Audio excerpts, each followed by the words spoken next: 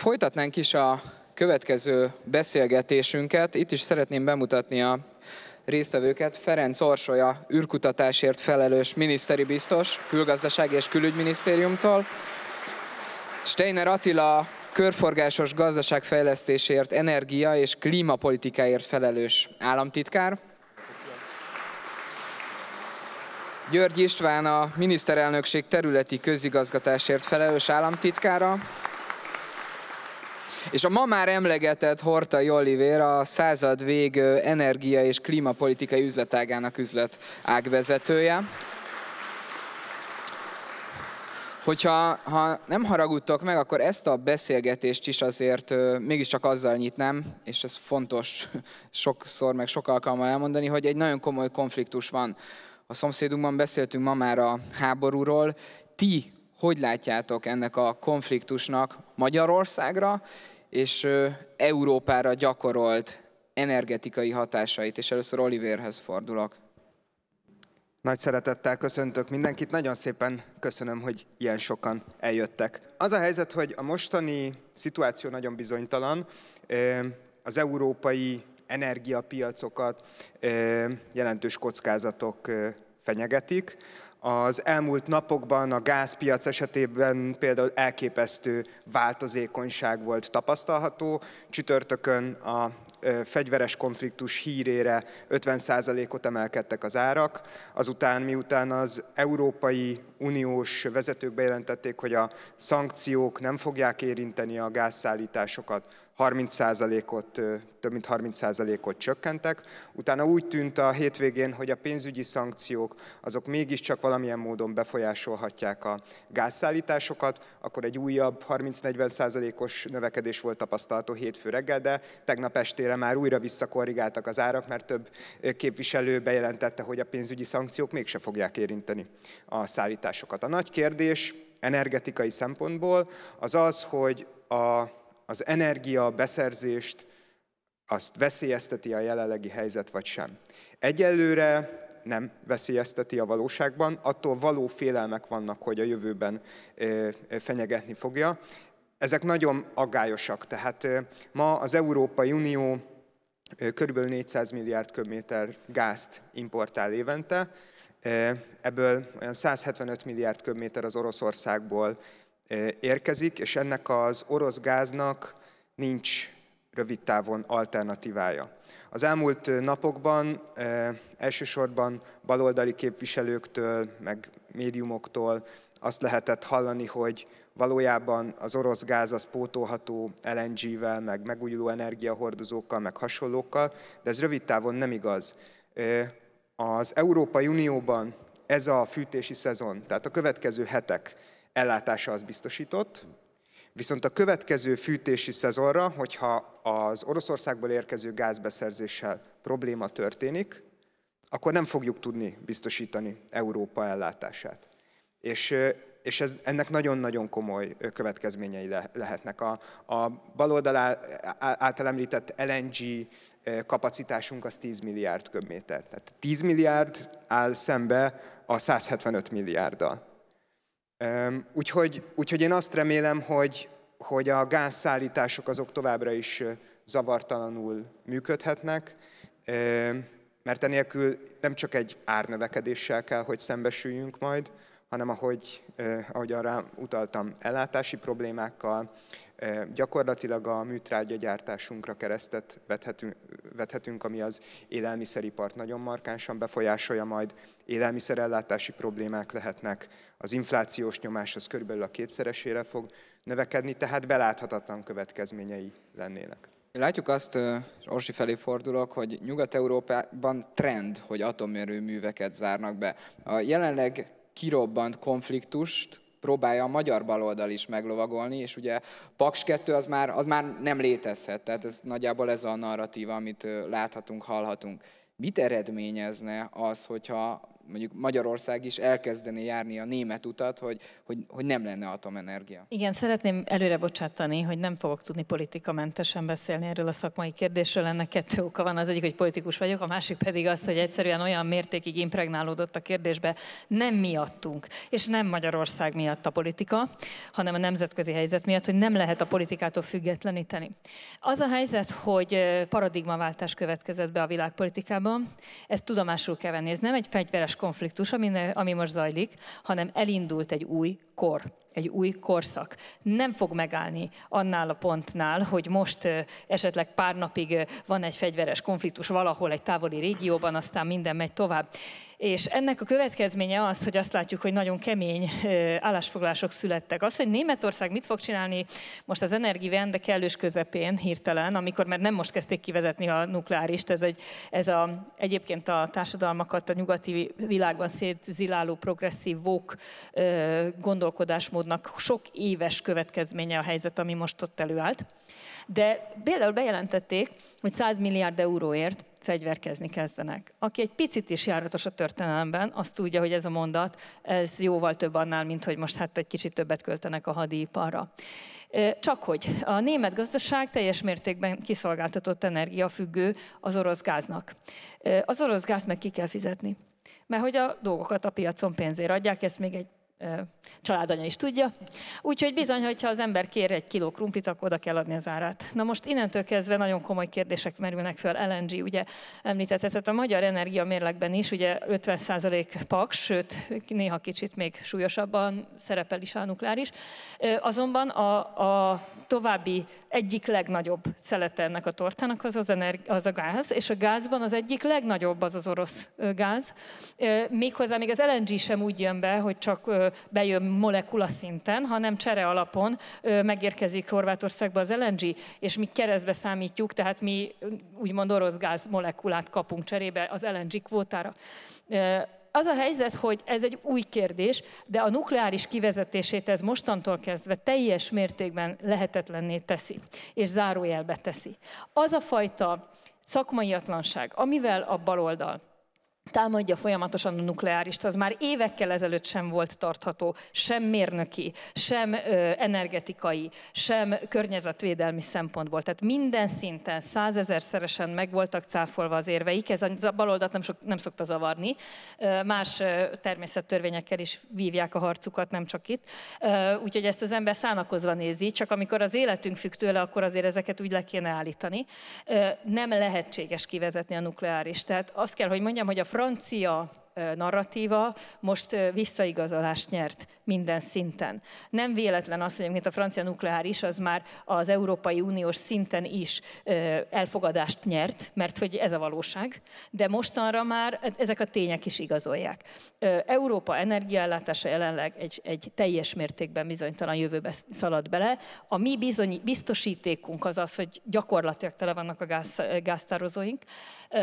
2036-ig a háború előtti árakon is, töredékáron megvannak az, a hosszú távú szerződéseink, és Magyarországnak az egyetlen érdeke jelenleg az, mert sem barátaink, sem ellenségeink ugye nincsenek csak érdekeink, és mi egyébként a NATO tagjai vagyunk, és az Európai Unió tagjai vagyunk, és ebben minden kötelezettségünket maradéktalanul és azonnali hatállyal el is látjuk, ezt szeretném leszögezni, de ettől függetlenül Magyarország egyetlen érdeke most a béke, és egyébként minden morális tartással rendelkező embernek az egyetlen érdeke kizárólag a béke lehet. És ha minden nap aki mást mond, annak a moráljával gond van. És minden nap meghal ezer ember, akkor tíz nap alatt tízezer ember hal meg. Ha tíz nappal hamarabb van tűzszünet, akkor tízezer ember életét mentettük meg. Ezt vagy így gondoljuk, vagy nagyon másról beszélünk, ami erkölcsi alapon értelmezhetetlen. Sokszor próbálják. Sokszor próbálják a, az atomenergiát mondjuk szembeállítani a zöld energiával, és baloldali politikusok, gondolkodók is úgy vélekednek, hogy ez vagy-vagy, nem és van mondjuk a kettő között. Hogy állunk a megújuló energiákat tekintve Magyarországon? Én is tisztelettel köszöntök mindenkit, és szeretném megköszönni alelnök úrnak, illetve a századvégnek ezt a mai lehetőséget, hogy erről a nagyon aktuális kérdésről beszélhetünk. Én azt gondolom, ahogy Süli miniszter úr nagyon jól megadta az alaphangot, a, a nukleáris energia és a megújuló energia az nem egymás ellenségei, mind a kettő nagyon szépen megfér egymás mellett. És én azt gondolom, hogy amikor erről a, az egész megújuló kérdéskörről, zöld tematikáról beszélünk, akkor érdemes egy kicsit tágabb kontextusba helyezni. Nekem nagyon tetszik ez a szlogen, ami itt található mögöttem, hogy biztonságos, megfizethető és tiszta energiaellátást szeretnénk. Nem egy öncélú zöldítésről beszélünk, hanem egy olyan egy olyan jövőről, amikor természetesen mindenki szeretné, hogy tisztább legyen a villamosenergia és az energiaellátásnak a termelése, de közben szeretnénk folyamatos, biztonságos energiaellátást is látni, ugyanis az életünkhöz ez elengedhetetlen, és emellett azt is szeretnénk természetesen, hogy ez ne kerüljön sokba. Ezt meg tudják fizetni az átlag állampolgárok is. És ilyen szempontból, ahogy Orsolya is említette, az atomenergia az egy abszolút alap, főleg egy ilyen helyzetben, amikor ilyen, ilyen bizonytalanságok lengik körül a, az európai energiaellátás jövőjét. Emellett nagyon fontos az, hogy a megújulók esetében viszont az természetesen helyben elő, elő tudjuk állítani a megújuló energia termelést, az egy nagy előnye, viszont nem áll mindig rendelkezésre. Úgyhogy emiatt kellenek olyan erőművek, amik éjjel-nappal tudnak egy alap termelést biztosítani számunkra, anélkül az ipar nem tud működni, a gyáraink nem tudnak működni, viszont emellett természetesen mozduljunk el a zöld irányba. Én azt gondolom, hogy ezt a hármast, amit ez a szlogen is megfogalmaz, ezt, ezt kell figyelembe vennünk, amikor például zöld irányokról is beszélünk, és egyik napról a másikra nem tudunk teljesen átállni zöld energiákra, ez fizikailag nem lehetséges, ez egy szlogen szlogennek jól hangzik, ahogy a baloldali politikusok is nagyon gyakran ö, ö, hangsúlyozzák, de egyszerűen nem reális az, hogy közbe tartsuk az ellátásbiztonságot és, a, és az áraknak a megfizethetőségét. Úgyhogy egy egészséges energiamixben kell beszélnünk, aminek az atomenergia egy nagyon jó alapja, természetesen zöldítsük amennyire lehet, de arra is figyeljünk, hogy az ellátásbiztonság ne sérüljön. Ehhez a földgáz elengedhetetlen, mert azt nagyon gyorsan tudjuk aktiválni, nagyon gyorsan be tudjuk indítani a gáztüzelésű erőműveket, amikor éppen nem süt a nap, vagy nem fúj a szél. Úgyhogy emiatt kell egy egészséges mixben gondolkodni. És ha megnézzük amúgy, hogy Magyarország eddig hogyan teljesített ebben a hármasban, akkor én azt gondolom, hogy kiválóan, ugyanis az elmúlt 12 évben ellátásbiztonsági szempontból sosem volt probléma, és én azt gondolom, hogy a mostani helyzetben is fel vagyunk készülve bármilyen helyzetre.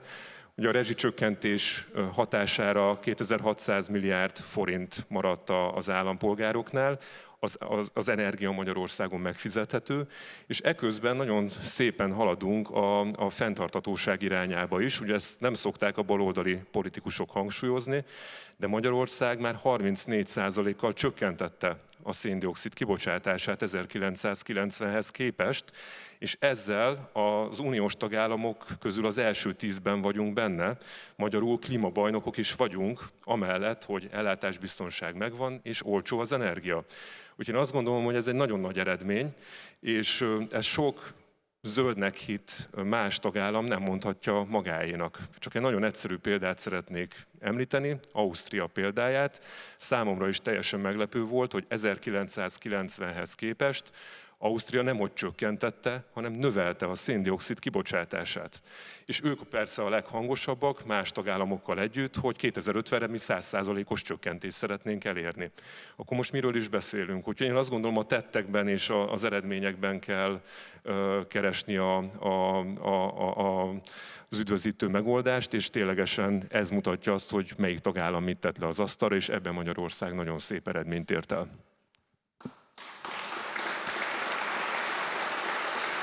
Ja, ahogy már hallhattuk ma, hogy a, a rezsicsökkentés ötlete kezdetben egy valóban egy, egy óriási és korszakalkotó ötlet volt, de az, hogy ez meg is valósuljon, ez már egy másik kérdés is, és már ha jól emlékszem, talán az előző beszélgetésben ifja Blomnici Zoltán utalt rá, hogy ugye az a jó, jó jogszabály, amit aztán be is tudnak tartani a szolgáltatók, az emberek, mindenki.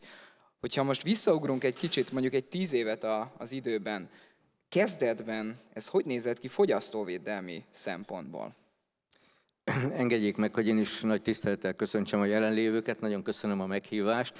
Valóban most az elmúlt percekben az energiapolitikának egy kicsit tágabb szegmenseit tekintettük át, és most ha visszatérünk kicsit szűkebben a magyarországi rezsicsökkentésre, akkor valóban azokat a kezdeti hónapokat érdemes felidézni, amikor is a döntések megszülettek, és valóban úgy van, ahogy ifja Blumnici Zoltán elmondta, és itt a felkonferálásban is szerepelt, hogy minden jogszabály annyit ér, amennyit be tudunk belőle tartani.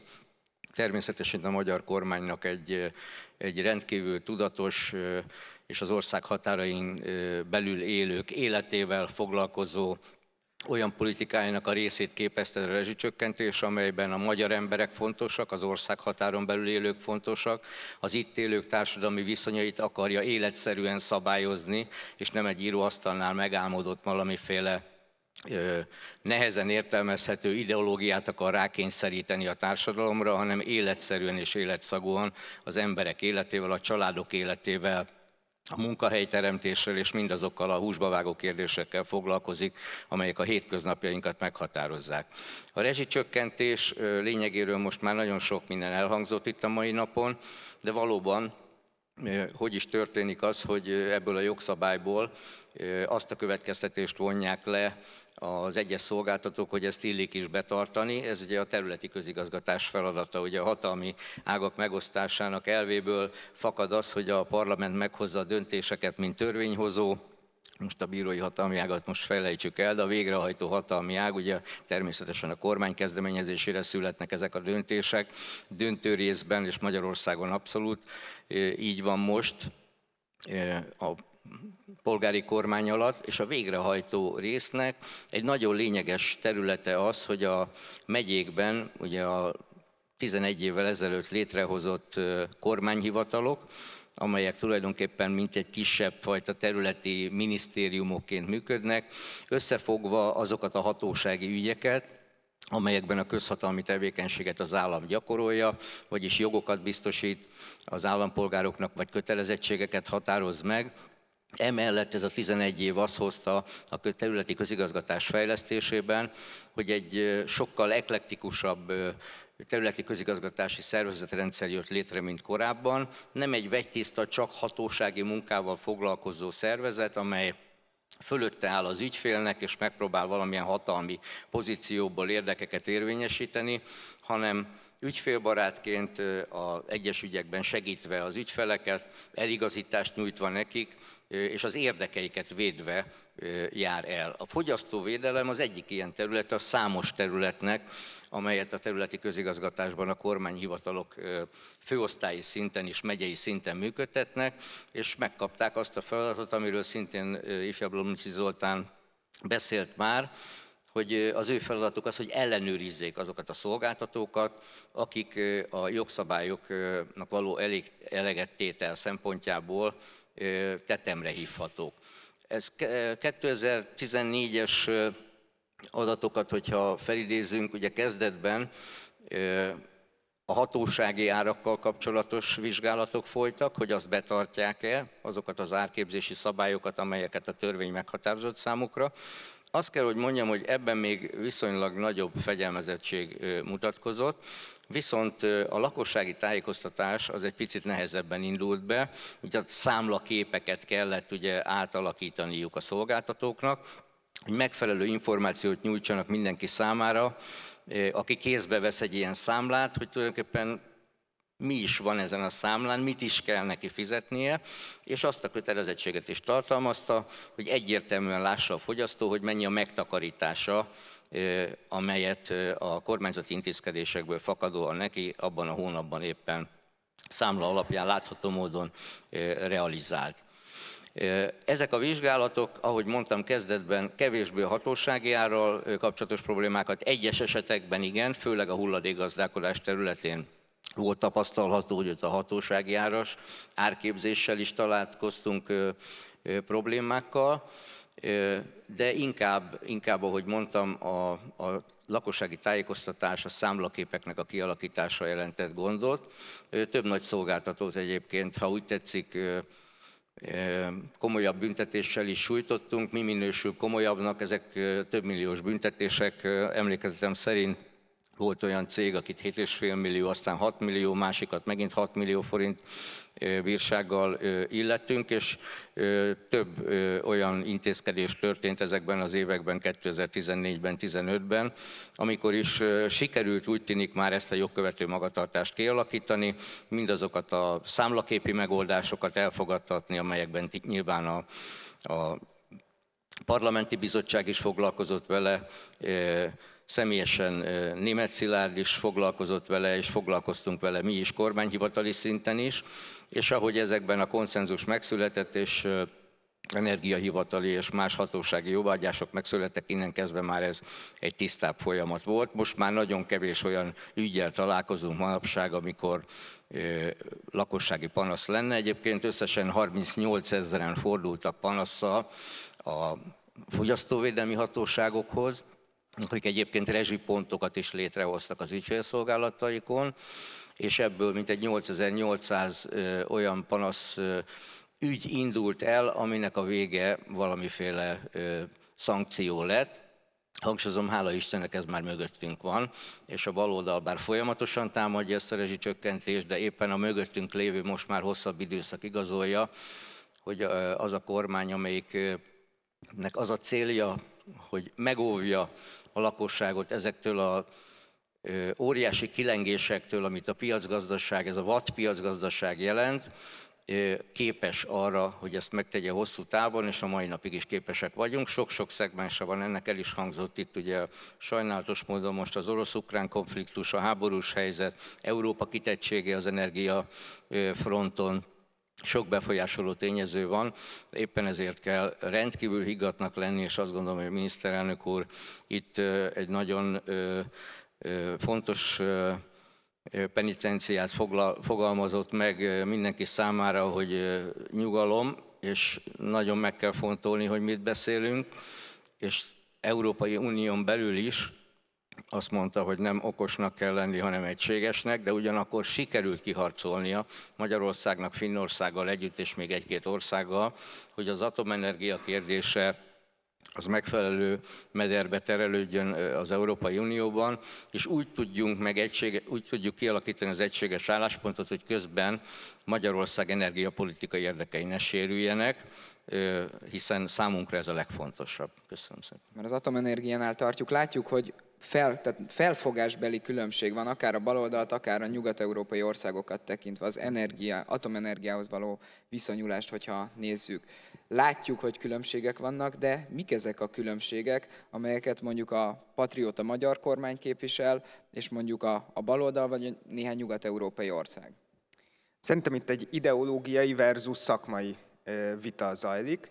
Hát a, a, a szakmai érvek az atomenergia ellen lényegében elfogytak, de már egy, egy másfél évvel ezelőtt is, ezelőttre is elfogytak.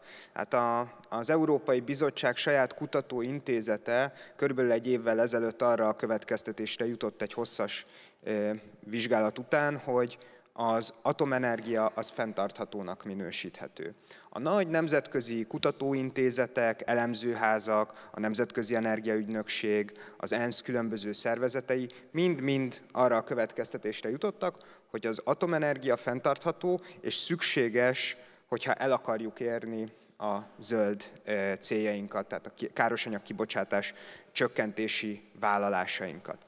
Ezzel szemben egy nagyon nagyon erős ideológiai konfliktus van, talán még mindig az atomenergia ellen, de most szerencsére úgy tűnik, hogy a szakmai érvek azok felülkerekednek. Én egyébként optimista vagyok ebben a tekintetben, mert a társadalmi hangulat is ebbe az irányba mutat. A századvéggel időről időre végzünk európai szintű közvéleménykutatásokat, és ezek azt mutatják, hogy a nukleáris energia társadalmi támogatottsága az folyamatosan növekszik.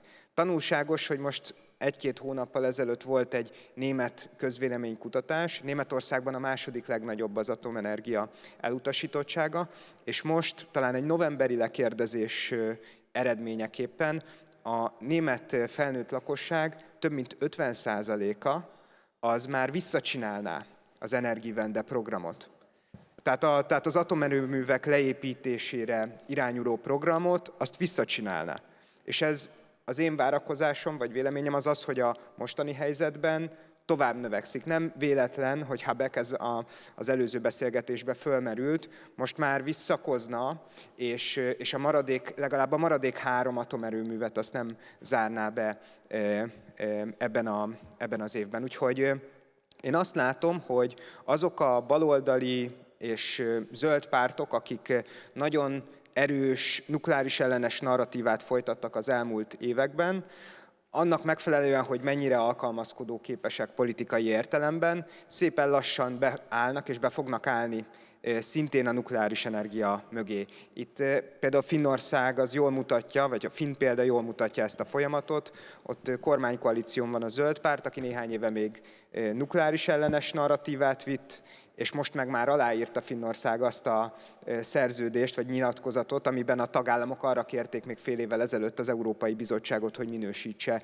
zöldnek a, a, az atomenergiát. A napokban tett Habek nyilatkozat szintén egy újabb lépés ebbe az irányba.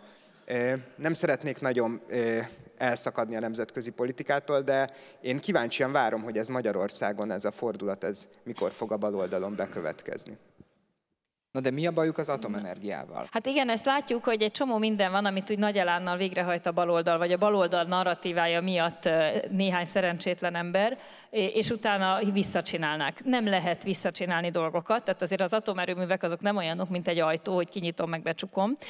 Úgyhogy ezt tudomásul kell venni. De van ennél rosszabb hír is. Ugye hadiparfejlesztésről beszél mondjuk most Németország. Na most az a helyzet, hogy, hogy vegán tank nincs, most ez így furán hangzik, de azért, azért arra gondolok, hogy azért meglehetősen nagyon sok energiát igényelnek a hadipari termelések, tehát ha valahol szükség van az energiára és a kakaóra, akkor az, az, az a hadipar.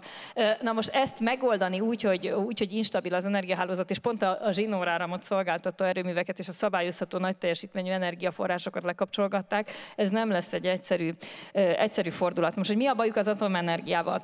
Megint csak vissza kell térjek ugye ahhoz, hogy aki tanult ilyet egyetemen, nukleáris technológiákat, illetve ennek a fizikáját, tudja, hogy ez mivel jár, illetve mivel nem jár. 6 g per kilovattóra kibocsátásról beszélgettünk teljes lábnyom, széndiokszid lábnyomban. A szélerőműveknek is 11, 12, 14, most attól függően, hogy hol tesszük le őket, nyilván a tengerpartiak ráadásul jóval gazdaságosabban üzemeltethetőek, de ettől nem lesznek a kontinens közepén az országoknak tengerpartjai, mert a földrajz meg ilyen, tehát a parton van a víz, onnan folytatódik, tehát most ezek ilyen tudom, hogy fájdalmas ütközések a valósággal, de ez a helyzet. És, és ott fúj a szél jobban, tehát a szél teljesítménynek is van egy térképe, tehát azt is javaslom mindenkinek, hogy nézegesse. Hát, hogyha ilyen foglalkozik. Itt mivel van problémájuk? Látszólag egy, egy, egy ideológiai harc, ugye, hogy szörnyű két katasztrófa, Csernobyl meg Fukushima, és hát ez borzasztó és szörnyű, ami teljesen igaz, de hozzáteszem, a technológia folyamatosan fejlődik, tehát ma már sokkal biztonságosabb erőművekről beszélgetünk, remixről beszélgetünk, újra felhasználható nukleáris hulladékról, gyakorlatilag minimalizálják a valóban radioaktív hosszú távon tárolandó hulladékot.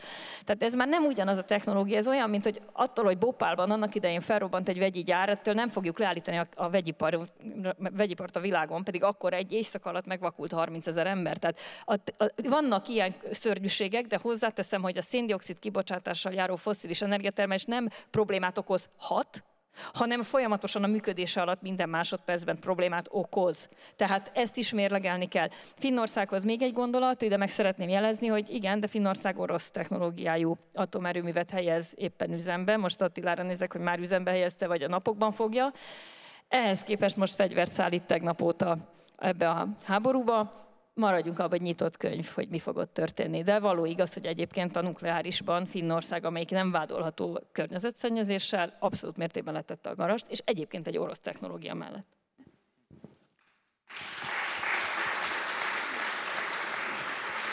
Egy klíma- és természetvédelmi akciótervet készít a kormány, és ismét Attilához fordulok. Miről szól ez a terv, és akár 2030-ra, 2040-re milyen hatása lehet ennek? Ha már az energetika területén vagyunk, ez a klíma és természetvédelmi akciótervez 8 nagyon konkrét intézkedést definiál. Ezt miniszterelnök úr 2020 februárjában jelentette be a sors fintora, hogy egy hónappal később bejött a Covid helyzet, de ettől függetlenül mi a háttérben dolgoztunk ennek a megvalósításán. Energetika területén szeretnénk 2030-ra azt elérni, hogy Magyarországon a, a villamosenergia termelés 90%-a a széndiokszid kibocsátás mentesen történjen meg. Én azt gondolom, ez az egyik legfontosabb célkitűzés, amit ez az akcióterv megfogalmaz. Ez nukleáris energia nélkül nem fog menni.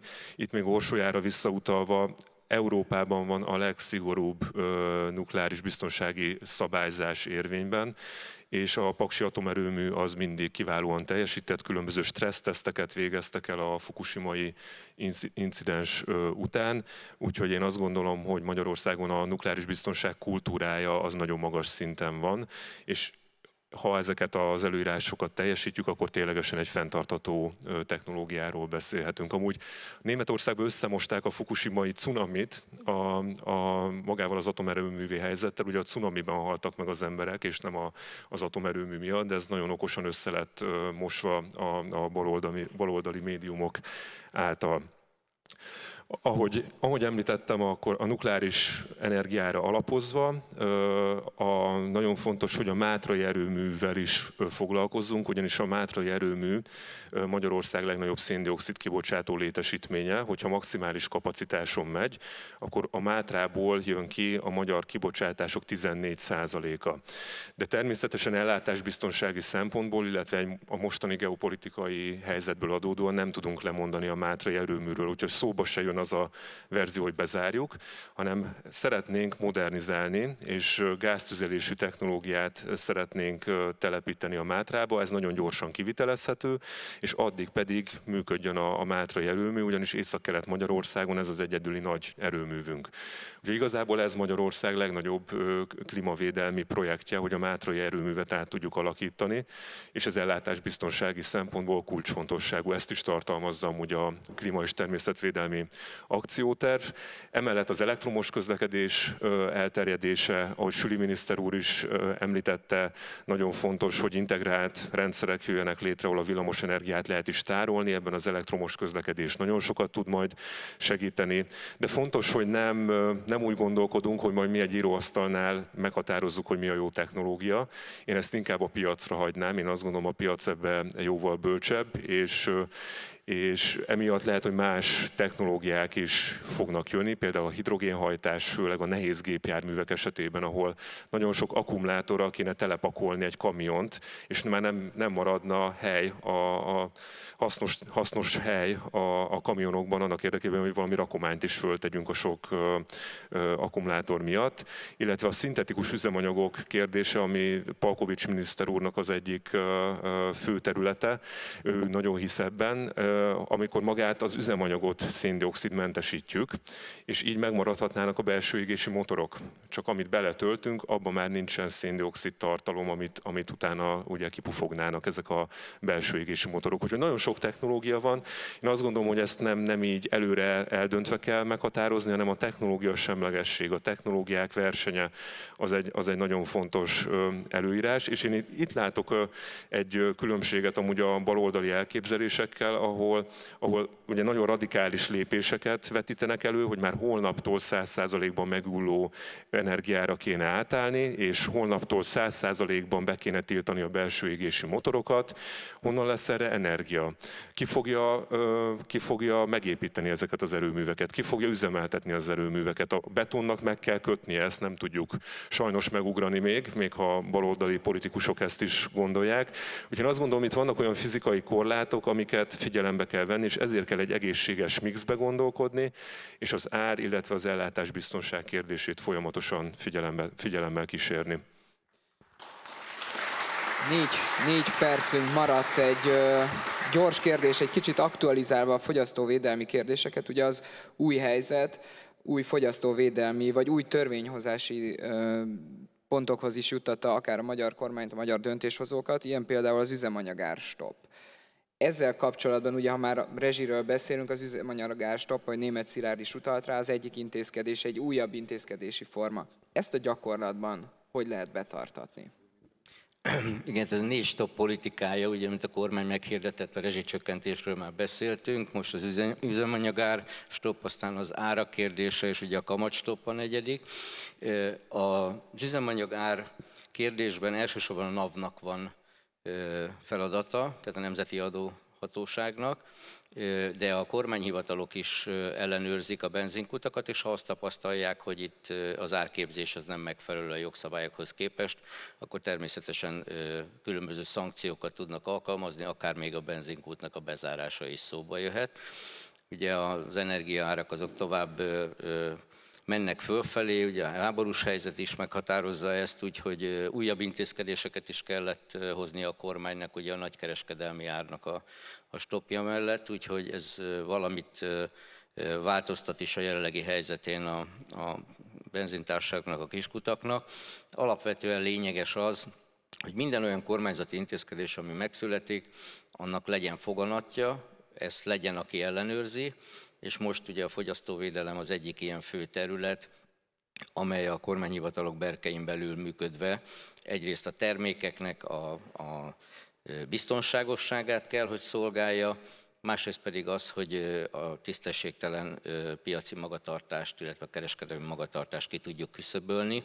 Ennek most én úgy ítélem meg, hogy szervezeti keretei biztosítottak a megyékben, a kormányhivataloknál, és a legfontosabb az, hogy túl ezen a közhatalmi tevékenységen, amit az adott jogszabályi környezetben el kell látni egy-egy szervezeti egységnek, a kormány társadalompolitikai céljainak is mindig aktuálisan, prompt meghatározott feladatainak is eleget tudunk tenni, akár ellenőrzésben, akár annak a folyamatnak a segítésében, mint például a gazdaságvédelmi akcióterv volt, vagy a munkahely, munkahelyek védelme a, a Covid-válság idején, vagy akár csak az egész Covid-dal kapcsolatos olyan tevékenység, amely a teljes logisztikai folyamatnak a szervezését jelentette Magyarországon, mindenhol, ez mindenhol a megyei kormányhivataloknak volt a feladata, erre fogalmazott úgy talán miniszterelnök úr, hogy a második világháború óta nem volt olyan feladat, amely az ország egészére kiterjedően és minden állampolgárral kiterjedően egy rendkívül komoly szervezési feladatot jelentett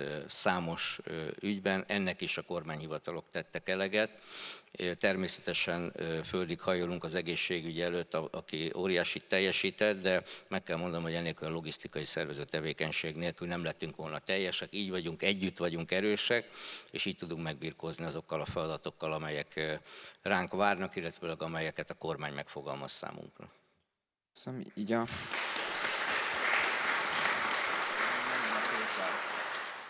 Szóval, hogy így a beszélgetésünk végéhez közeledve, Oliver, a legnehezebb kérdésem neked jutott.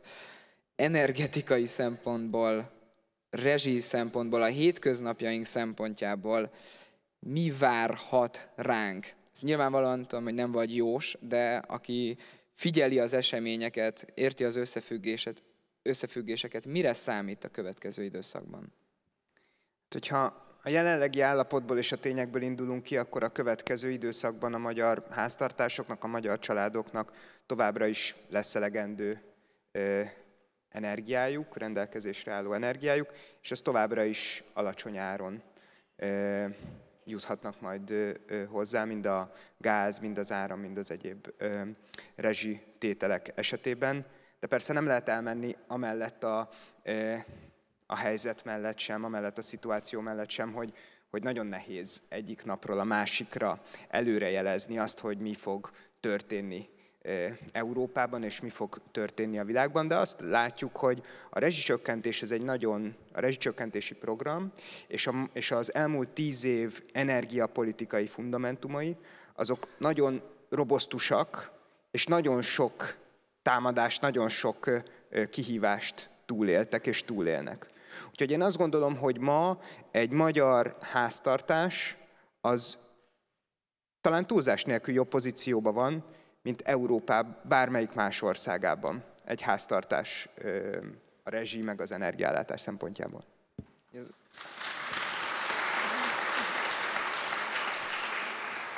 Ugye ez, tehát abból a szempontból is fontos kérdés, láttuk az energiárak alakulását, és tényleg abból az ábrából is kiderült, hogy Magyarországon a legalacsonyabbak a, az energiárak, és igazából tényleg most már csak az utolsó kérdésem, hogy, hogy ennek a fenntarthatósága az mennyire lehet működőképes, ismerve a körülményeket. Tehát mi kell ahhoz, hogy ez fenntartható is maradjon?